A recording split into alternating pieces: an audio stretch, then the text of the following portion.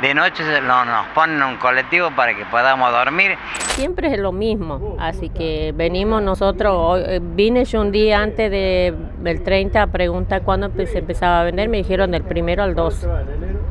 Por eso nosotros vinimos a hacer cola. Y después nos salieron a decir que no, que el 21. Y bueno, si nos vamos a la casa perdemos el lugar. Yo estoy tercera. Eh, los que estamos primero tenemos miedo venir el 21 y encontrarnos con mucha gente. Queremos viajar porque es más barato y económico y, y más accesible en las comodidades que un colectivo, ¿no?